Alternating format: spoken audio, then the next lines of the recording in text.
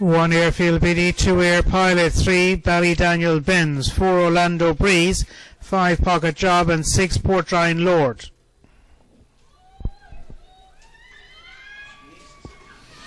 And we're away. Six is best out. Portdrine Lord, followed on the inside by four, which is Orlando Breeze.